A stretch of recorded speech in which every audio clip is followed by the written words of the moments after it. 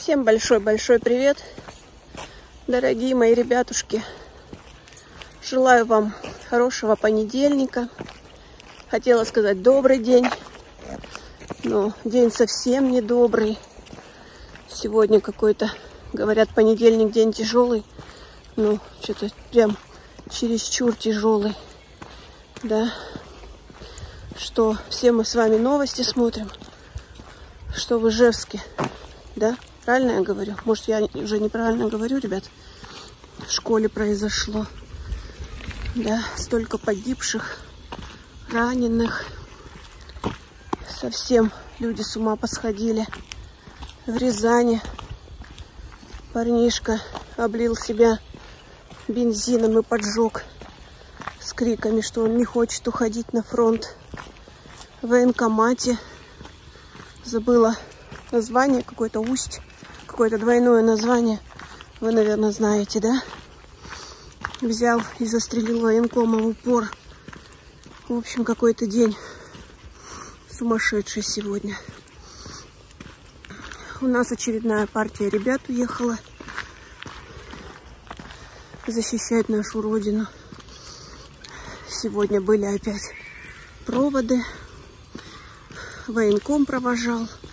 Батюшка молитву читал. Завтра опять проводы. И послезавтра опять проводы. И получается, что каждый день кто-то уходит.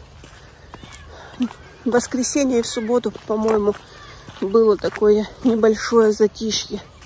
Никого не отправляли. Мушенков, Гоголев, Я. Данилин Вячеслав, Данилин Игорь, Доркин, Я. Везучев, Кепшин, Я. Линенко, Лапут, Я. Леха, поехали. Матросов, Наместников, Я. Орлов, Я. Лепшин, Савостин. Я. Может быть, если неправильно ударение, то извините. Манюков, Рощенко, Дрощенко,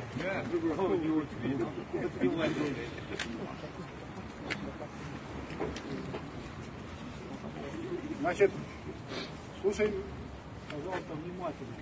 Каждый находится около своего автобуса. Вы, соответственно, в этот автобус, вы в этот автобус. Ваши документы будут у старших, у сопровождающих. Сопровождающие работники. Вы спрашиваете про Диму. Мы пока ждем. Ждем, ребята. Вот сегодня Дима в ночь пойдет на работу. Посмотрим. Им повестки, если дневная смена, то выдают вечером в конце смены. А если ночная смена, то выдают утром после окончания рабочей смены. Так что будем знать только завтра. Первую, в первую, в первые дни, господи, где-то 21-го вот выдали повестки прям большому количеству человек. 22-го выдали где-то 8 повесток и 23-го 4. Но это я говорю только про Димину смену. У нас же смен очень много. Не знаю, сколько смен, брать не буду, но смен много. То ли 6, то ли 8. Ну и цехов очень-очень много разных, совершенно разных. Кто чем занимается, кто вывозка, у кого дробильня, у кого еще что-то. В общем, вот так вот. Грустно, очень-очень грустно. Но никуда от этого не деться. У нас ребята карелы очень ответственные, очень спокойные, уравновешенные. Э, Я смотрела видео, как провожали ребят из России. Видео выставляли на ютубе. Там уже, не успев сесть в автобус, уже все такие подвыпившие, веселые. У нас ребята очень дисциплинированные. ни одного пьяного человека. Все все прекрасно понимают. Э, это хотя бы успокаивает, что не шаляй-валяй. Надо, конечно, ко всему отнестись с полной серьезностью и ответственностью. Вот, сейчас погуляем, зайдем на почту. Мне пришла посылочка от моей подписчицы. С вами будем вместе распаковывать. Провожу Диму на работу и потом уже спокойненько сяду с вами дальше продолжу разговаривать. На улице у нас сегодня плюс 7 градусов. Ветра нет, дождя нет. Вчера мы, конечно, попали с Димой под дождичек. Немножко промокли, но ничего страшного. Все, маршируем, ребята, дальше. Время уже пятый час, так что нам на прогулку осталось совсем немного времени. Мы уже, ребятушки, дома. Сегодня мы прошли мало. 5 километров всего, но торопимся. Время уже пол шестого. Сейчас Дима перекусит и поедет на работу. Все. 8300 шагов, по-моему, мы прошагали. Все, зашли на почту, получили посылочку. Сейчас будем с вами распаковывать. Вот она наша посылочка, которая проделала огромный путь почти через всю нашу огромную страну. Эта посылочка проехала, ребята, 8434 километра. Вот так путь. Сейчас такие сложные коробки, ребят. Не могу понять, где начало, где выход. Вот это начало.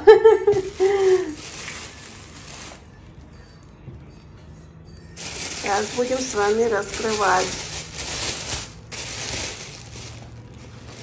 Ой. Чим-чим.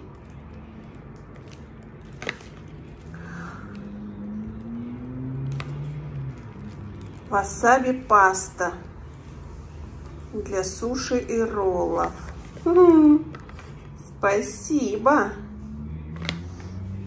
Так. Тут что-то у нас непонятно. Сейчас откроем, ребят. Здесь, ребята, кедровые орешки и кедровые шишечки. М -м, как интересно. Ой, это же кладезь полезных витаминов. Спасибо огромное, огромное-огромное. Будем пробовать. Так много еще в пакетике. Смотрим дальше, что тут еще. Оленина тушеная. Еда для сильных людей. Вот так вот. 338 грамм. На первом месте в составе оленина. Вот так вот, наверное, очень хороший продукт. Ой, спасибо, будем пробовать. Картошечку потушим с олениной. Обязательно.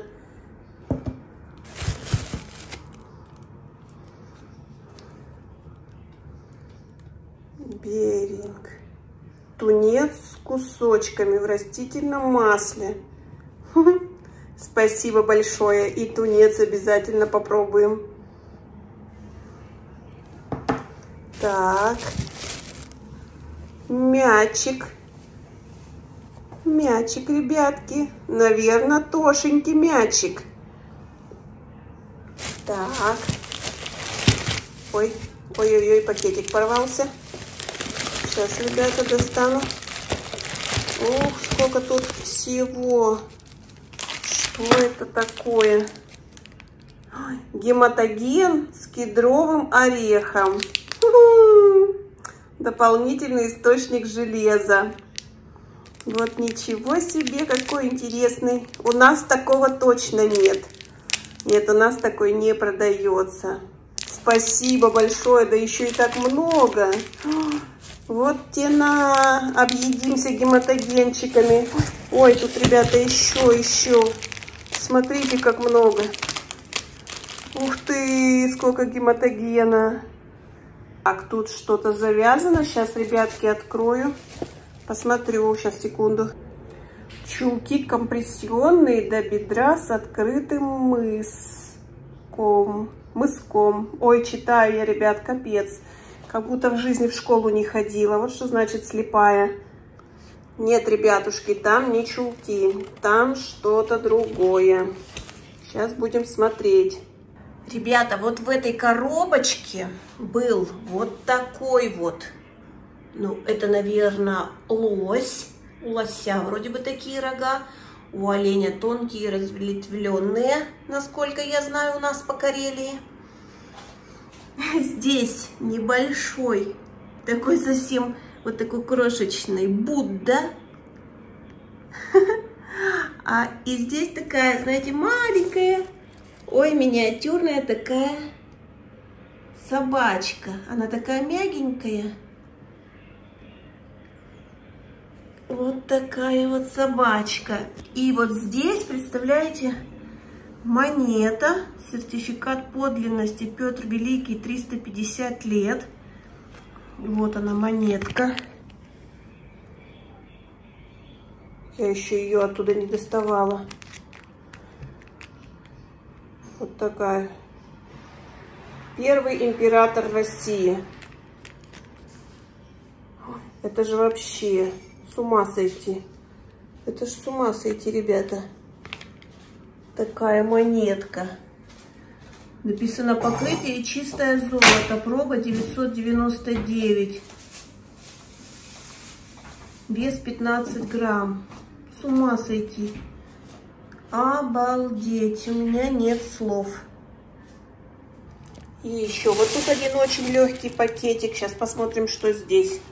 А в этом, ребята, пакетике была манишка. Вот такая вот мягкая-мягкая. Очень приятная. Толстая. Прям такая на суровую зиму. Написано сделано в Монголии Опять из яка. Из яка. Ой, это, наверное, уже нацепила от пакетика. И вторая манишка. Вот такая тоненькая на весну. Весна, наверное, осень. Ну все, теперь у меня шея будет закрыта.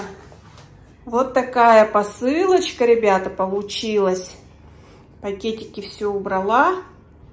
Огромнейшее, огромнейшее спасибо. Отправительница предпочла остаться инкогнито, скажем так. Но я очень-очень благодарна и признательна. Спасибо огромное.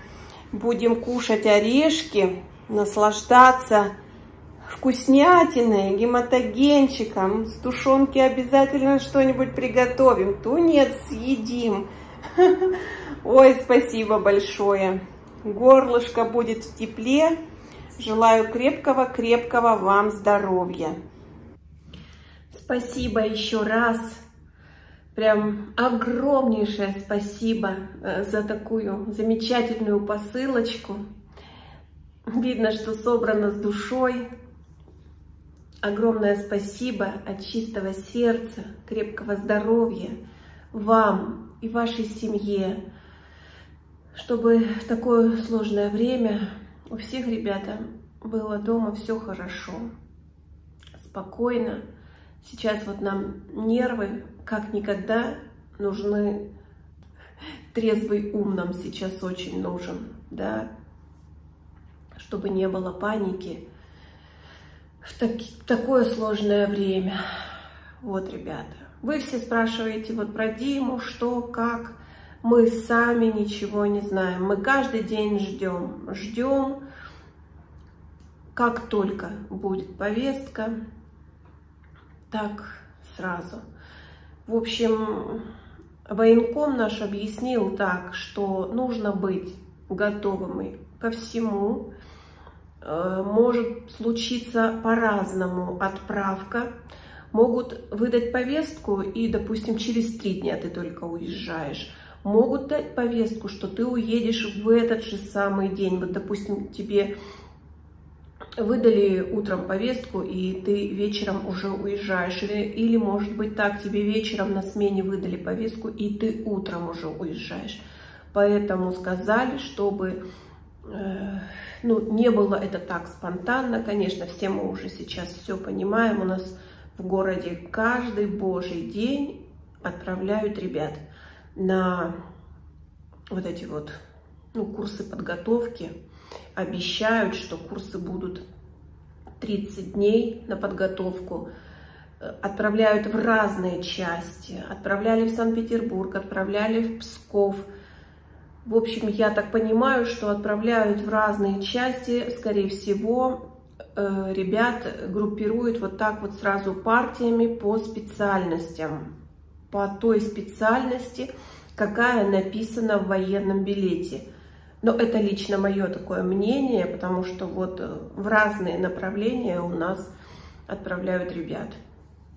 Э, и вот сказали, что нужно быть ко всему готовым, нужно приготовить вещи, самое необходимое. Вот мы вчера с Димой прошлись по магазинам. У нас всего два магазина таких, которые более-менее подходят по этому плану. Такие, знаете, охотнические, рыбацкие. Есть у нас партнер и есть у нас охотник. Но мы с Димой прошлись, ничего такого вот не насмотрели. Нужно хорошее термобелье, чтобы оно быстро на тебе сохло. Нужны термоноски, нужны тактические ботинки, тактические перчатки, тактические очки, э, ну, шапка, перчатки, носки шерстяные, это понятно. Значит, потом нужен какой-то нож. Забыла, как он называется. Ну, типа перочинного ножика. Фонарик нужен с собой. Обязательно своя железная кружка, ложка, тарелка, миска, да, там, списки разные. Знаете, вчера прислали одноклассники списки, которые выдают в Петрозаводске. Там вообще вот э, неведомому человеку можно, знаете, схватиться за голову и биться головой об стенку в панике. Ну, это я так образно говорю. Потому что там написано, что и бронежилет нужен, и газовая горелка нужна, и Ой, чего там только, там такой огромный список, и, господи, боже мой, э, спальный мешок нужен, ну и много-много-много-много всего. Хотя вот нам сказали, что нужно наоборот, как бы вот все так упаковать, э, чтобы все влезло в один рюкзак. Рюкзак должен быть на 60, по-моему, если не, не, не путаю, ребят, по-моему, на 60 литров должен быть рюкзак. Ну вот так. Я вчера зашла на Озон, ребята. И вот пока только накидала в корзинку. Самое такое необходимое. Одну пару термоносков. Хорошие термоноски стоят дорого. Вообще дорого. Я даже, знаете, когда ты с этим не сталкиваешься, ты не знаешь вообще цен, что почем, что сколько стоит самые такие вот, не знаю, даже недорогие, ну там от 500 рублей до 1000 рублей пара носков. Именно вот этих вот термоноски. А, потом вот термобелье от 2800 до 6 там, тысяч. Выбрали мы с Димой такое среднее. Я, мы смотрели вместе по отзывам. По-моему, 3 с чем-то. 3 400 или как-то так. Э, Тактические перчатки вчера закинула в корзину, сегодня, смотрю, уже все закончилось. Уже раскупили, тактических перчаток нет. Тактические очки мы так и не выбрали. Не знаю. Но все дорого. Вот, вот знаете, такое ощущение, что кто-то работает вот на этом, спекулирует сейчас, в данный момент. Потому что с магазинов пропало все, а вот в интернет-магазинах все дорого. Тактические ботинки тоже вот Диме закинули два, две с копейками. Но вот надо, чтобы они пришли, померить, не знаю, успеет ли. Я Диме говорю, ты не переживай, если что, все это возможно отправить обратно. В плане того, что если вдруг его заберут, а посылка еще не придет. Вот так. Как бы вот самое необходимое надо уже покидать в сумку, чтобы было готово.